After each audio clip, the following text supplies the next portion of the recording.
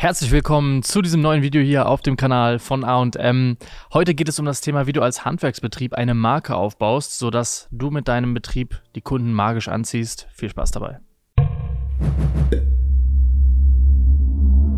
So, äh, ich habe mir heute mal wieder äh, den Alex geschnappt und äh, wir möchten heute ein Video aufnehmen zum Thema, wie du es als Handwerksbetrieb schaffst, eine richtig starke Marke aufzubauen. Ja, wie du einen wirklichen Sog äh, erzeugen kannst mit deinem Handwerksbetrieb. Und ähm, ja, was hat das erstmal für Vorteile, Alex, wenn man eine Marke als Handwerksbetrieb aufbaut? Ich finde, man kann das immer schön an Marken verdeutlichen, die schon ein bisschen länger am Markt sind, zum Beispiel mhm. Apple oder Coca-Cola. Ja. Ich meine, wir wissen, es gibt deutlich, es gibt viele Produkte, deutlich mehr Produkte als Apple und Coca-Cola ja. in dem Bereich und auch Produkte, die sicherlich technisch ähnlich sind. Bei Apple kann man darüber streiten, aber von, von der Grundidee, aber einfach viel günstiger sind, also teilweise ein Drittel oder ein Viertel kosten. Mhm. Und trotzdem können diese Marken seit Jahren, Jahrzehnten ihre Preise durchsetzen, so. Und das ist halt möglich, weil sie eine Marke sind, weil sie Emotionen damit verbinden. Das heißt, wenn du selber in einer Region eine Marke wirst, natürlich hast du jetzt nicht das Budget von Coca-Cola oder, oder Apple, ne? Mhm. Aber wenn du selber eine Marke bist, dann hast du die Möglichkeit, Preise durchzusetzen ohne viel Verhandlung. Du hast die Möglichkeit, dass du ähm, bei Angeboten, auch wenn noch andere Angebote geholt werden, du trotzdem der bist, der die Nase vorn hat, weil eben die Leute was mit dir assoziieren. Ja.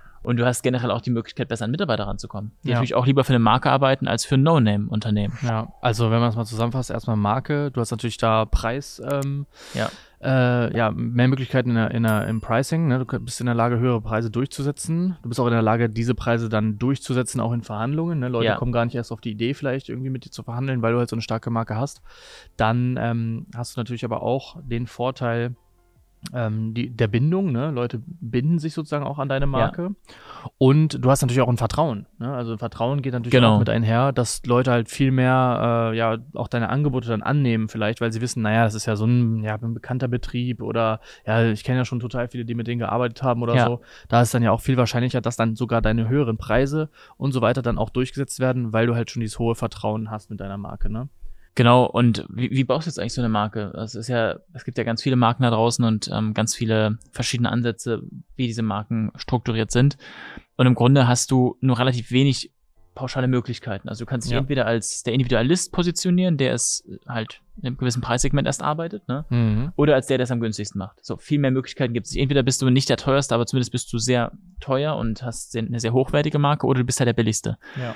Alles andere, gerade so das untere Mittelfeld, wo du nicht der billigste bist, aber trotzdem sehr günstig bist, ist immer sehr schwierig, weil da gibt es immer ja. einen, der dich unterbietet und da hast du nicht so Bock drauf, auch mit den Leuten, mit denen man da arbeitet, hast du nicht so Bock.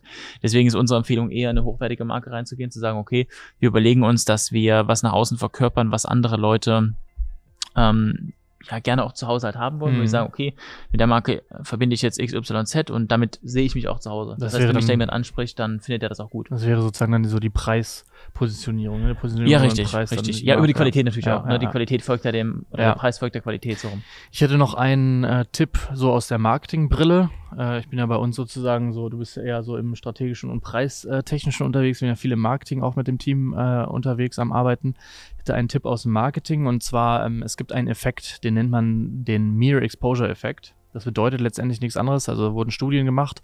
Das bedeutet letztendlich, ähm, umso häufiger eine, ja, eine, eine Marke oder ein, also ein Unternehmen oder auch eine Person mit Personen funktioniert das genauso, nur die Tatsache alleine, dass diese Person häufiger zu sehen ist, führt dazu, dass, wenn jetzt nichts anderes Negatives mit der Person oder dem Unternehmen verbunden wird oder in Verbindung gebracht wird, alleine dieses Zeigen oder dieses häufigere Zeigen der Person oder der Marke führt dazu, dass sie eine höhere Beliebtheit bei den hinterher Befragten sozusagen ja. erzeugt hat. Was heißt das jetzt für dich? Das heißt, umso häufiger du in deiner Region sichtbar bist, in Online-Anzeigen, in Social Media und so weiter, alleine diese Tatsache, die wird dazu führen, mit deiner Markenbotschaft und mit deinem Außenbild sozusagen, alleine das wird dann dafür sorgen, dass in deinem, in deiner Region du immer beliebter wirst. Ja, klingt verrückt, ist aber wissenschaftlich belegt so.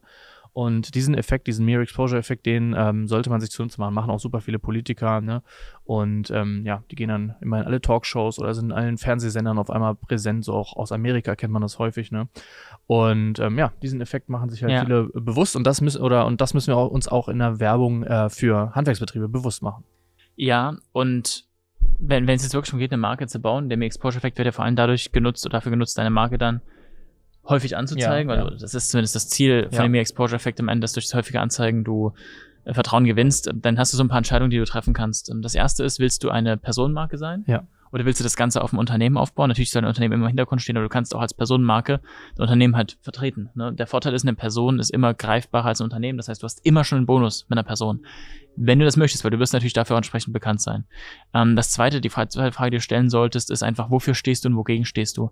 Das ist bei einer Marke immer wichtig, beide Seiten. Ne? Ja. Was wofür man steht und was wogegen man steht. Und hier hast du verschiedenste Dinge. Du kannst sagen, du stehst für Individualität, du stehst für ähm, Top-Service. Du stehst dafür, dass der Kunde niemals im Regen gelassen wird.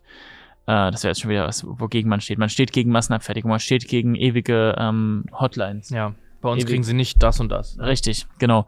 Und du kannst auch so ein Zwischending machen. Du kannst sagen, ich, ich bin nicht der, der hier irgendwie äh, einfach nur der teuerste sein will, sondern ich kann dir wirklich für dieses äh, Geld auch was geben. Ja. Also da musst du für dich überlegen, was passt zu dir, was sind die Dinge, die deine Kunden mögen. Du kannst auch theoretisch eine Kundenbefragung machen, wirklich mal sagen, 20 Kunden nimmst du dir mal, sprichst mit denen mal jeweils eine Stunde, ja, ist ein bisschen Zeit, die aufgeht, ich weiß, Zeit ist im Handwerk immer knapp. Aber wenn du nur noch solche Traumkunden hättest, dann hättest du auch mehr Zeit, weil du würdest weniger Stress haben, du würdest weniger Probleme dahinter lösen müssen, du würdest einfach insgesamt besser dastehen und diese Fragen sollte man sich einfach stellen und die mhm. sollte man einmal für sich klar haben, einmal klar beantworten. Und dann ist auch überhaupt kein Problem, diese Marke daraus zu, zu kreieren und die dann auch zu vermarkten. Mhm. Ja. Ich denke, da ist einiges dabei. Also wir können noch viel tiefer gehen, aber das ist irgendwann nicht mehr zielführend. Mach erstmal diese Übungen, dann bist du schon einen Riesenschritt weiter. Ja. Und dann würde man alles mittelfristig auf die Marke natürlich auch abstimmen, was die Farben angeht, etc. Und ähm, in dem Sinne, wenn du Interesse hast, dass wir uns mal anschauen, wie deine Marke aussehen kann, kannst du dich auch gerne bei uns melden, ist klar. Du findest immer die Webseite einem, antonmartha-berater.de. Und ansonsten würde ich sagen, lass einen Daumen nach oben da, gib den ganzen Like und wir sehen uns im nächsten Video. Bis dann. Ciao.